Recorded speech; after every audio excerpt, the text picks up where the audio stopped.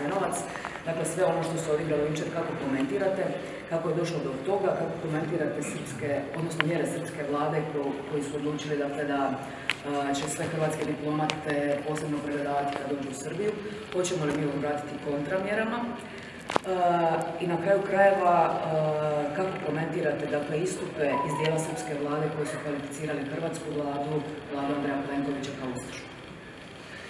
Prvo to treba jednom riječju sve te ocjene odbaciti kao zlonamjerne, kao neutemeljene, a što se tiče ovoga sa čime se bavimo evo već drugi dan, mislim da je svima koji su pratili sve što se objavljivalo više manje sve jasno.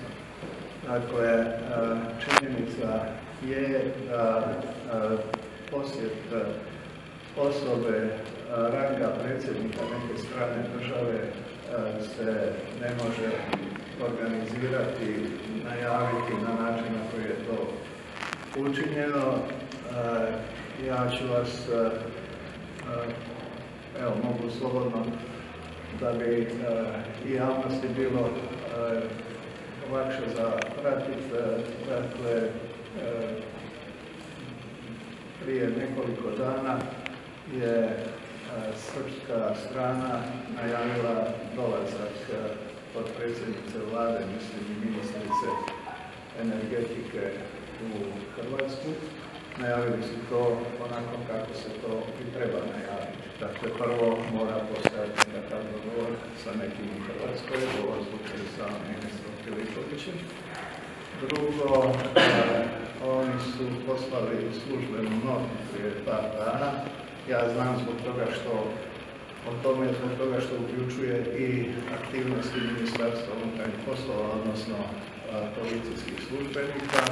U toj noti su svi oni elementi koji trebaju biti. Dakle, tko dolazi, tko dolazi u pratnji, tražila se policijska pratnja od granice, vrijeme prelaska granice,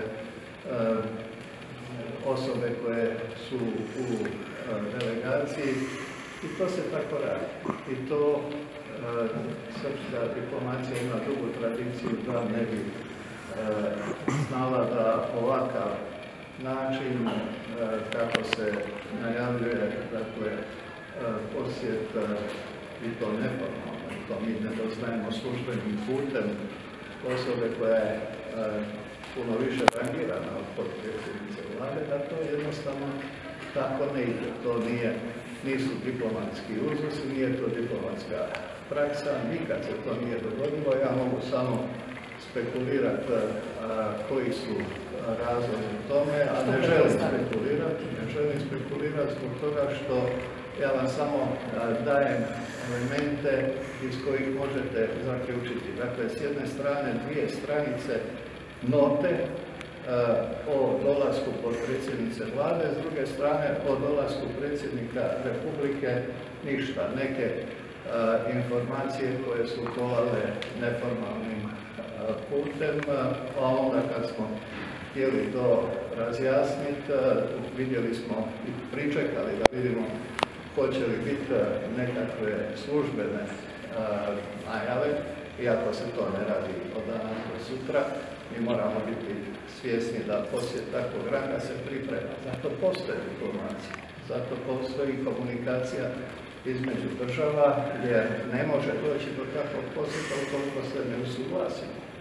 I o samom tajmingu, o tome koji je cilj, koje bi osobe eventualno bile, da li to uključuje primjerice medije, što onda automatski isključuje nekakvu mogućnost da se radi o privatnom posjetu. Pitanje uopće da li se u takvom kontekstu može govoriti o privatnom posjetu, jer privatnih posjeta u Hrvatskoj, pogotovo ovo doba godine stranih dužnosnika, ima puno iz brojnih zemalja, uključujući i Srbije.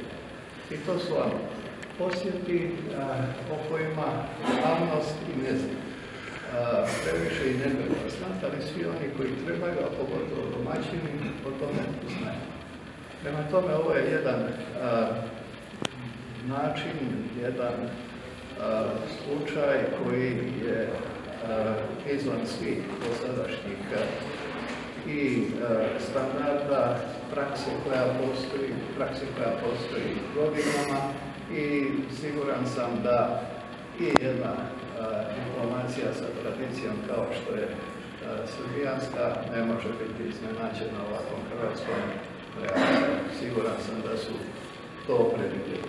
Što onda s ovim mjerama i protimjerama? Najavili su mjere protiv hrvatskih diplomata i hoće li Hrvatska odraditi na sličan način? Čujte, to što je netko kazao, je kazao.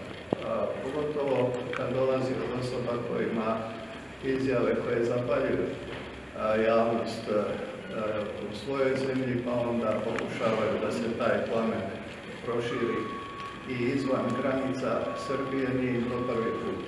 Međutim, mi smo tu potpuno, ja bih kazao, fokusirani na ono što su naši prioriteti i a se ovoga tiče, vidjet ćemo ako donesu odluku, vidjet ćemo što je sadržaj te odluke, proučit ćemo i onda možemo razgovarati o nekakvim hrvatskim odgovorima, međutim ja stvarno ne vidim potrebe za time, pogotovo ako uzmete u činjenicu, u, vidu činjenicu da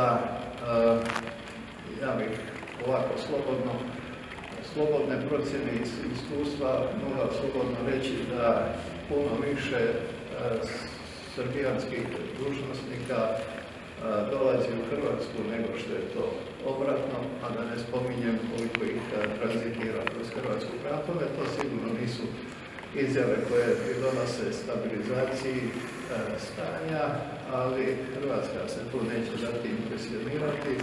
Mi znamo kako funkcioniraju i međunarodni odnosi, znamo što su naši interesi, znamo što su naši prioriteti, za dijalog smo otvoreni, ali dijalog podrazumijeva razgovor.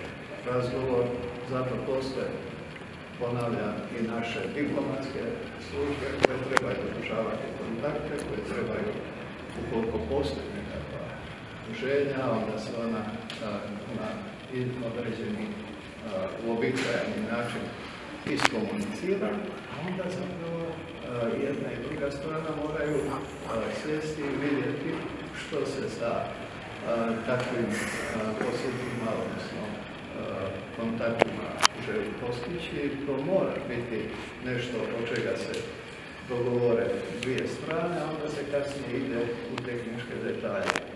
Reći ja dolazim nije dovoljno nije dovoljno, niti je to e, praksa i to je e, da pače, to je potpuno odudaranje od onoga što smo imali kroz e, cijeli niz godina i osobno sam kao diplomat nerijetko bio uključen u pripremu takvih dolazaka i meni je ovo izmjeno.